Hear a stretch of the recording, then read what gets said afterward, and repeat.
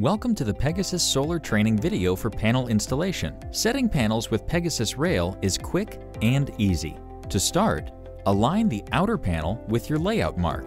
Insert a multi-clamp in the rail. Slide it flush to the panel, with the black side facing out. Then, tighten using a half-inch socket. Repeat this step on the lower rail. The multi-clamp works as both an end clamp and mid clamp. When using the multi-clamp as an end clamp, Position the plate side outward for a clean, finished appearance. Finally, add an end cap to cover the rail. Insert a multi-clamp, twist it, and slide it flush to the panel. The multi-clamp fits panel frames from 30 to 40 millimeters thick. Set another clamp on the lower rail. Once both clamps are in position, set the second panel in place and tighten the multi-clamps.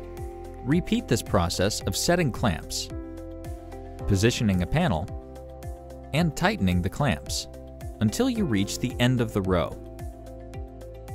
Move to the next row and continue setting panels until the array is finished.